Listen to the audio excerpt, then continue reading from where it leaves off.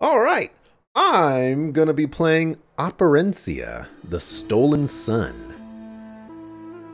Uh, truthfully, I don't really know a whole lot about this game. Um, I it was around when it first came out. Maybe it was in a beta or something like that. But I think it was when it first came out. I saw some streamers playing it, and uh, it looked it looked interesting. It it seems like a dungeon crawler, first person dungeon crawler kind of game, which is totally not my style. But the streamers that I was watching they were doing like puzzles and things like that, you know, in addition to like combat and whatnot.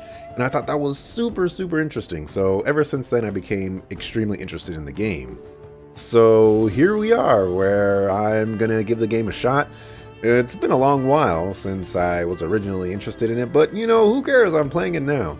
Uh, bought it on the Epic Games Store sale a while back where they were doing that $10 coupon and Ooh, I, I bought some uh, some games during that that sale because that was a really good sale. Um, so this is gonna be a blind playthrough, even though I, you know, I've seen some footage of it, but I don't know anything about the game. So it's gonna be a blind playthrough. Uh, this is PC, if there was any doubt. And uh, yeah, I don't got anything else. So uh, let's get into this. Operencia, the Stolen Sun. Yeah.